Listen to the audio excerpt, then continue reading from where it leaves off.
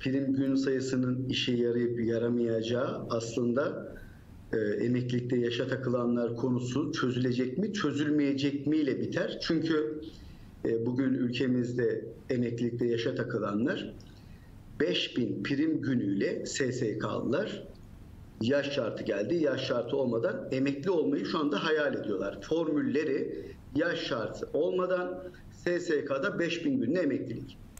Kademeli emeklilikle beraber de 5000 prim günü 5975 güne kadar çıktı. Yani 2 yıl 8 ay 15 gün uzamış oldu. Hadi onu da kabul ediyor şu anda EYT'liler. 5000 günde 5975 gün arası istenebilir. Ama bunun dışında emeklilikte yaşa takılmış kadınlar erkekler zor bela 5000 günü 5975 günü tamamlamak için uğraşırken bu durumda olanlara 9000 prim gününü getirmek bırakın emeklilikte yaşa takılanları emekli etmek iyi bir formül olmasını emeklilikte yaşa takılmış normal şartlarda yaşa takıldığı halde emekli olacakların emekli olamayacağı bir durum doğurur. Nasıl? Mesela bir kişinin 5000 gününü ya da 5975 gününü tamamlamasına diyelim ki 3 yıl var. Yaşa da takılmış. Yaşını tamamlayacak 3 yıl sonra primini de tamamlayıp emekli olacak. E bir anda 5975 günü 9000 güne çıkarmak demek prim gün sayısını 8 yıl 4 ay 25 gün uzatmak anlamına geliyor. Zaten prim gün sayısını dediğim gibi Türkiye'de herkes tamamlayamıyor. Bir yasa çıksa 4,5 milyon EYT'li var. Yaklaşık 500-600 bin emekli olacak. Bu 500-600 bin kişiye siz kadınlarda SSK'da 7200 günü, erkeklerde 9000 gün şartını getirirseniz kaç kişi emekli edersiniz? 8-10 bin kişiyi emekli edersiniz. Diğer geri kalanların da 3-5 yıl sonra, 7-8 yıl sonra emekli olacak EYT ile beraber en kötü şartlarda emekli olacak kişileri bile emekli olmayacak bir duruma sokarsınız. Bu bir skandal olur. 8 Eylül 1999 tarihi dahil bu tarihe kadar ilk defa sigortalı olanların SSK, Bağkur, emekli sandığı ayrı ayrı değerlendirilir.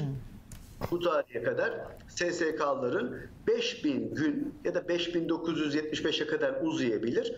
Yaş şartı olmadan emeklilik hakkının verileceğini düşünüyorum.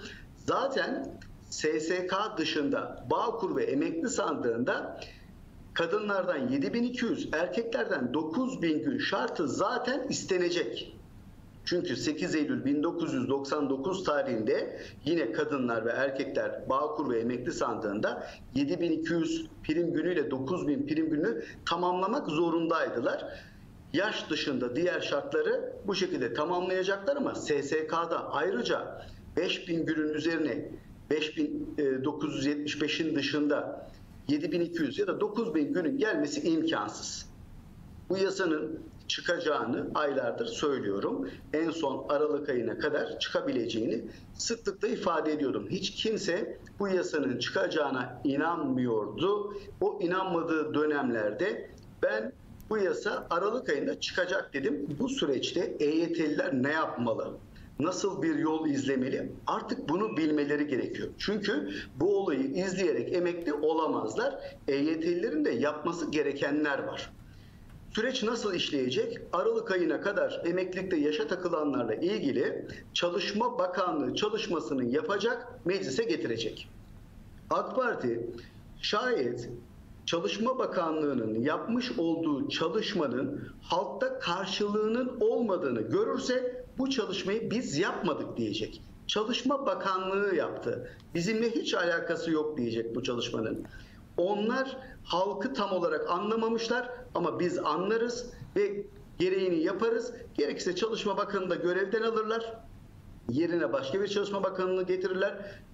Bu konuyla ilgili açıklamayı Cumhurbaşkanı Sayın Recep Tayyip Erdoğan'ın yapacağını düşünüyorum ve çalışmanın sonunda der ki anketlere göre de şu andaki gidişat pek iyi değil. Der ki yaş şartı dışında 8 Eylül 1999 tarihine kadar kim ne şekilde emekli oluyorsaydı aynı şartlarda EYT'nin sorununu çözdük diye açıklama yapacaklar. Uygulama da ya Ocak ya Şubat ya da Mart ayında başlar. Nasıl?